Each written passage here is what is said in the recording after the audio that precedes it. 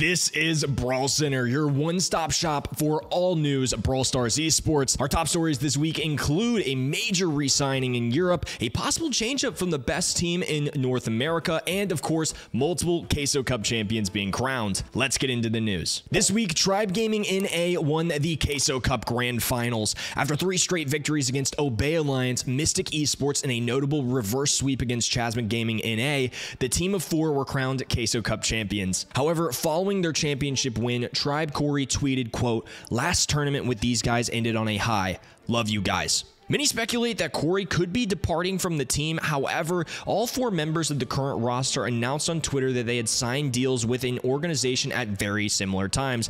This was, after all, you know, the stereotypical signing of a tweet kind of meme that everybody puts up. But while announcing his signing, Tribe as Living notably said, quote, sometimes change is better, which spooked a lot of Tribe NA fans. One of the biggest rumors and kind of questions I've gotten over the past few weeks has to do with these two players, especially as Livy and whether or not he will be moving based on what he said in this tweet. Well, nothing is, of course, official. These guys haven't come out and said it themselves. I personally would be pretty darn shocked if they didn't just get back together, especially based on the time these tweets were made, their success last year, etc. I, I think if they stay together, they're clearly favorites for 2023 to make World Finals. I'm not really sure why they would change things up. Reply Totem, the second seed in EMEA in 2022 and top eight finisher at the World Finals, have just announced the re signing of Joker, Mari, and Maru as their three players in 2023. Reply Totem this year, though, is joined by Coach Roll, a veteran coach and a very successful one who previously was with AC Milan Clash in the LATAM South region last year. While they did not qualify for the playoffs in the Queso Cup, I'm not overly worried about these guys. Reply Totem has had some of the best success in the world for two years straight, and as of right now, I believe they should be the favorites to claim one of those guaranteed World Final spots in 2023 for EMEA and maybe even the one seed for that region, to be honest with you. They've got more time as a team now, success in LAN events, especially ones like ESL Snapdragon Pro Series, and now multiple times at Worlds. Expect big things from these guys. After two years with SK Gaming, Symantec officially announced on Twitter that he will no longer be playing with the organization in 2023. This is an iconic combination, and for a lot of you, this may come as a surprise. However, if you've been watching the last few videos, there have been rumors that he may join another roster.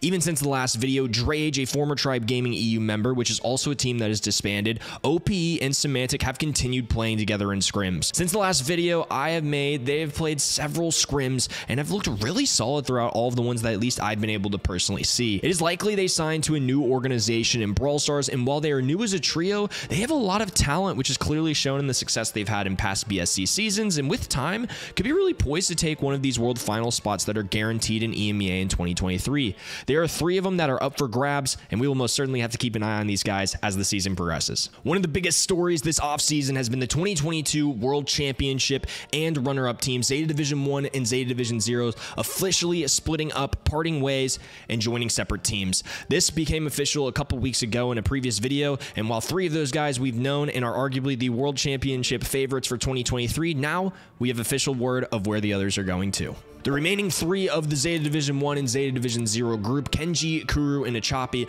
have been playing the ESL Snapdragon Pro Series together for the last few weeks and doing quite well. However, they've announced that they will be going their separate ways for the BSC season. Chasmac Gaming has signed their second BSC roster. It consists of Kenji and Kuru, two of those previous members, and now Dempsey, who played for the fourth place team in 2022 in East Asia, Ataru Chan Club. Between East Asia and Southeast Asia, there's only one guaranteed spot to make it to the World of Finals, and while they will not be the favorites to do so, it's still possible for them, but there are still several last chance qualifier spots for this region. I fully anticipate they will be one of those teams that at least have a shot at making Worlds or the LCQ. As for Achapi, that's one of the players I've had many questions about. He is still looking out for a team and hasn't announced anything yet. I am looking for him to join with somebody like Menmi or other players like Yotan out there as well. There's plenty of really awesome East Asia players that are still free agents, and of course, since he's one of the most historic and accomplished players in the world in the history of Brawl Stars, to be honest with you. We'll absolutely continue to follow him and where he ends up later on. As for tournament news, in 2023, this was the first big week for some major tournaments of the year,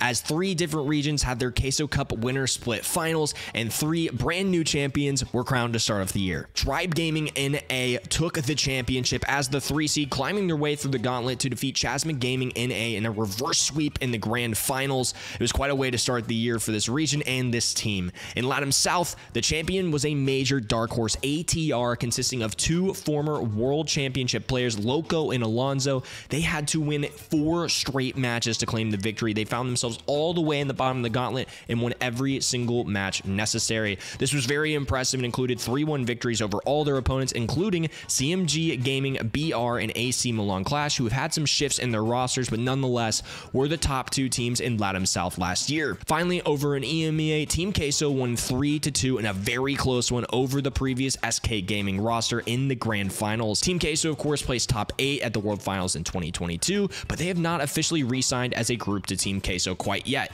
We'll definitely continue to monitor their situation. Congrats to all these amazing teams and looking forward to seeing what they can do in ESL, Queso Cup, and the BSC, of course, which is about a month away. Thank you all so much for watching the video. It would mean a lot if you went ahead and liked and subscribed. It takes such a little amount of time. It's absolutely free and it goes a long ways towards helping my channel. My goal right now is to hit a thousand subscribers and we're getting closer and closer with consistent videos, uploads, and covering all this stuff. I hope we can get there soon. Appreciate you all again and we'll see you all in the next one. Peace.